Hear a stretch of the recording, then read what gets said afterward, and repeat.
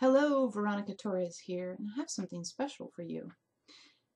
I wrote this up a little while back, and it may eventually turn into a book, but right now it's just it, and I thought I would read it for you. Get out your magic wand and wish.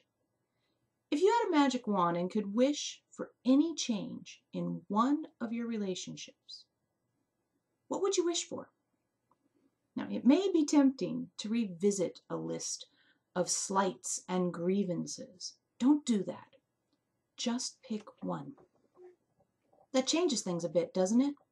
Narrowing down the challenges and annoyances to a solitary item can take a bit of time. Make the investment. It's worth it. Why? Because clarity is deeply empowering. When you have clarity about the one thing that you would change, it will be much easier to main your, maintain your focus as you go about changing it. Everything happens step by step. Although it may seem easier to think about something five steps down the line, it doesn't help the now, in this moment. Step one was getting clarity. Step two is acting on that clarity. Let's imagine you are now clear that you wish your partner would spend more quality time with you. You have lots of examples of how your partner spends his or her time on things that leave you feeling ignored. There's no value in thinking about that again. You've done that plenty of times already without anything changing. The value is in defining what that time means to you. Don't make the mistake of imagining that if your partner really loved you, he or she would already know what I want. It's unreasonable and unkind to demand that your partner read your mind. Even if you've been together a long time, it's still unfair to expect that your partner knows everything about you. You don't even know everything about yourself. After all, you're changing and growing constantly. Right now, sink into what quality time means to you. Let yourself experience this with words, feelings, memories, smells, sounds. Use your full sensory system.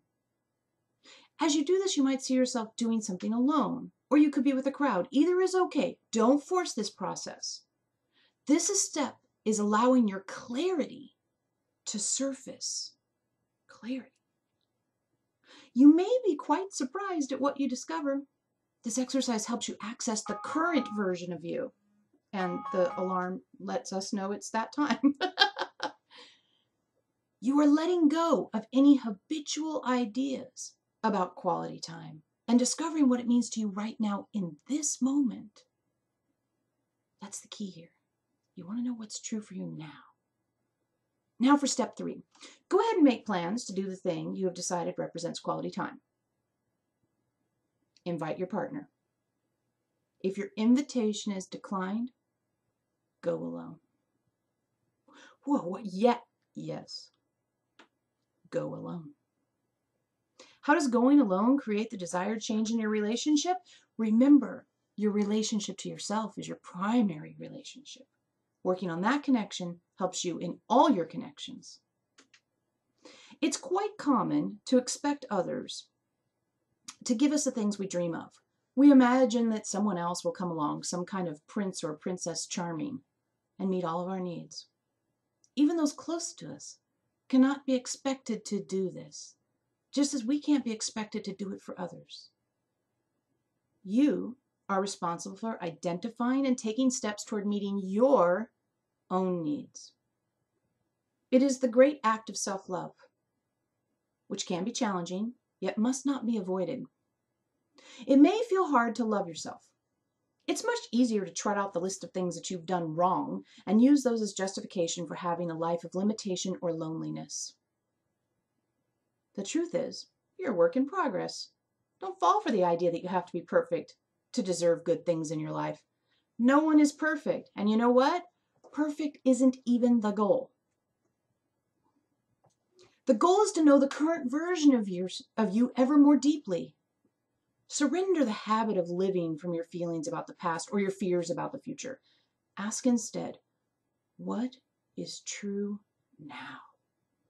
To discover the truth of your current experience. This access to your truth will allow you to readily experience it for yourself and offer it to others. When you are in a relationship based on shared truths, you have such a gift to give. Conversations will be about this moment and the things that are affecting you right now. The temptation to hold on to pains and frustrations from the past will lessen. You will build trust with others because you will come to know that a yes really means yes. Because your partner has checked in with him or herself to ask what the current version feels is true rather than offering a habitual yes response. And when the answer is no, it will be easier to hear it because you'll know it's not simply a knee jerk reaction, but a reflection of your partner's current truth. And really, when the current version of you is present, all time together becomes quality time. Hope you enjoyed that. I sure did.